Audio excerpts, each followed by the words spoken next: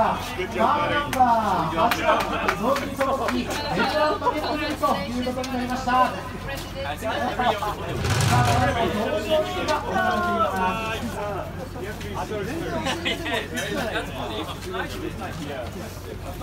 さあ、えー、前者ピッコールで戻ってきましたけれども、この後ですね、再び、えー、カード交渉で表彰式の方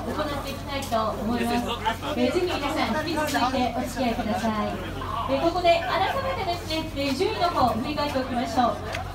えー、トップでチェクターはピエール・ガスリー、えー、塚越光大五人、えー、そして、えー、ジェンソン・バトン、ハムレ・高橋組